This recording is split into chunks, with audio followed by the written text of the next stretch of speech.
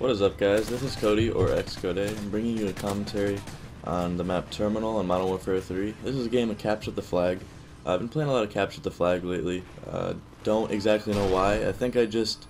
Usually when I play this game, I usually stick to like one or two game types and just play that all night, or usually just go from Search to Team Deathmatch and Domination, but I've been playing Capture the Flag a lot. I mean, I, I, I'm not much of an objective player. I know that I've stated in my last video that I hate it when people don't play objectively, but that's mostly on game types like search and destroy, demolition, things that you really have to play objective to actually win the game. but anyways, um, the story I want to tell in this gameplay uh, happens to be a very funny story, and uh, it happened like maybe like a year and a half ago, up to two years. I'm not exactly sure. Actually, you know what? I think it was I think it was this summer. Um, I mean, I don't know the entire full story of why we were doing this, but I thought it was pretty funny, and I thought I'd share it with you guys. Um, me and a bunch of friends were hanging out around town and just chilling. This was back when I wasn't on probation. We were smoking a little pot, having a little fun. Shit that we used to do, and uh, it was fun. But uh, we were chilling with this kid Rob, and everybody hates him. Like he's such a faggot. Like th there's no there's no question about it. Like I usually honestly like I'm not the kind of person to hate on people, and I'm not the kind of person to actually like call people out and like start shit with people. But he is such a faggot. Like this kid is weird as fuck. Like I went over his house one time, and he he has like 20 pet rabbits. He took his pet rabbit out, like let it let it go wild, shot and killed it, skinned it and cooked it and ate it.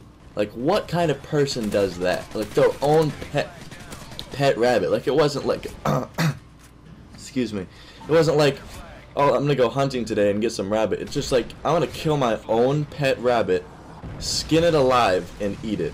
Like, what kind of person does that? I don't know. I mean, I, I guess I'm just not, I don't know, I'm not the kind of hunting person, I guess, but still, like, your pet rabbit? I, I, ah, I don't know. this kid is just weird as fuck. Like, he's straight up redneck, and I don't know. He's just really fucking annoying, and everybody uses him for his weed and alcohol.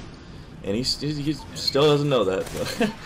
um, besides that, um, he had this friend that I have never, I've never met anybody so redneck in my entire life. Like, I, I really don't care about rednecks. Like, I'm not, I don't hate on anybody, like, specifically. But there's not one person I've ever met in my entire life that has shown more like th this is the most redneck person I've ever met. Like I can't I, I don't know how to explain it more than that. It's just like the most redneck person. He like he showed up full cowboy gear on, cowboy hat, cowboy boots, dip in his mouth, like fucking Budweiser shirt, like it was just full on, like there's no question about it. And he was being such a faggot the entire day. And everybody was just like, dude, let's get the fuck out of here. This kid's so dumb and he was just saying like stupid shit, making bets like, I bet I could throw this knife against the tree for 20 bucks, and people were just like, shut the fuck up. like, I don't even know why Rob brought him with him, but I mean, I guess two rednecks like to chill together, but, uh, like, he was just playing with this knife all day, just throwing it at the tree, throwing it at the tree. I'll bet you 20 bucks I can climb up there and get it. Like, just shut the fuck up. But anyways, back to the story. So we were walking through the tobacco fields near my house to find somewhere to smoke pot, I believe. I think that was why we were walking through there. And then all of a sudden, I, me, me and my group of friends were way behind me, and they were way ahead of me, way ahead of us. Like just Rob, maybe one other person, and fuck, did I forget his name already? Jesus, the redneck kid. I don't fucking know his name. Wow, I don't even know. I don't even remember his name. It was like Doug or something like that. Fucking like we were walking through the woods and all I heard was like laughing. So I thought they were just smoking weed or something. And then all I heard was, dude, look at this bee's nest. and, he, and he's just like, yo, watch this. He fucking, it was an underground bee's nest. And I don't know if you guys have ever experienced stepping in an underground bee's nest, but it's not a fun activity. Like, I don't know what was going through this kid's mind when he did this, but he full on, like, curb stomped the bee's nest.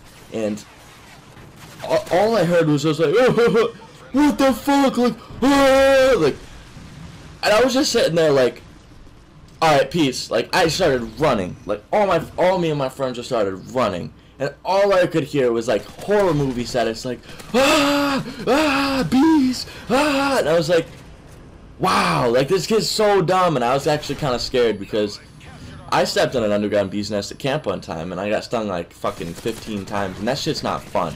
Like bees nest, bee stings hurt, and I'm sure you guys have gotten stung by a bee, but 15 stings at once is not fun. He got stung like 50 times, like 30, t like not 30, like three times on his dick, like fucking all over his body, and he he, he like took all his clothes off, started running around the fucking, and that's what that's the number one thing you don't do when you disturb a bee's nest is start running, because the more carbon dioxide you let like let out of your body, the more the bees are gonna want to fucking start attacking you even more. He was so dumb. He took off all his clothes because they were like in his clothes and shit. They were stinging him all over his body, and he was fucking just screaming like a fucking banshee, dude. Like, I've never heard anybody scream like that. Like he was screaming like straight up girl. And keep in mind he's like 16 probably, maybe younger. I don't even know, but like he was screaming like a fucking girl, dude. Like he was so dumb and. I don't know. I just thought that was kind of funny. I wanted to share it with you guys. I, I just thought of it this morning and I started laughing to myself. he's the dumbest kid I've ever met. Like, guys, look at this. I'm gonna step in an underground beehive. Like, what the fuck do you think's gonna happen? Anyways, guys, I, hope you guys, I hope you guys enjoyed this gameplay and this commentary. Uh, I don't know. This, this is just a funny story. I thought I'd share with you guys. This kid is so dumb. I don't know. Fucking, I hope you guys enjoyed this. Second time. I'm just gonna say it twice in every video, because I just happen to do it every time, so... Alright, I'll see you guys later. I'm just gonna leave you to the end of the game. I think there's about, mm, maybe 30 seconds left. Um, if you like this video and want to see more commentaries and gameplays, uh, leave, or if you're a new person watching my video, feel free to subscribe. Because it's free, man. It's free. And uh, show some support by leaving a like and a comment. As always, have a nice day, guys. This was Cody.